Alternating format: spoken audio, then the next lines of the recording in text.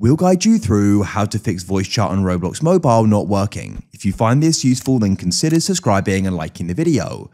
This is annoying as you then can't go and talk to people, so we've got some different fixes you can try. To get started, go and press the Roblox icon in the top left and you want to go and press settings. And what you want to do is go down to input device and just make sure the correct device here is selected in case you've got multiple go and use the core audio input, or if you have another microphone selected, go and select that. If you're finding that it's not showing up in the game, the mic icon, you want to go and leave the game like so. Make sure you're using a game which does go and support voice chat, as not all games will, so try using a game like Mic Up and go and see if it works there. If it still doesn't, press more in the bottom right, scroll down and go and find settings, go and find privacy and content restrictions, then find communication and go and find voice chat. Make sure it's switched on here.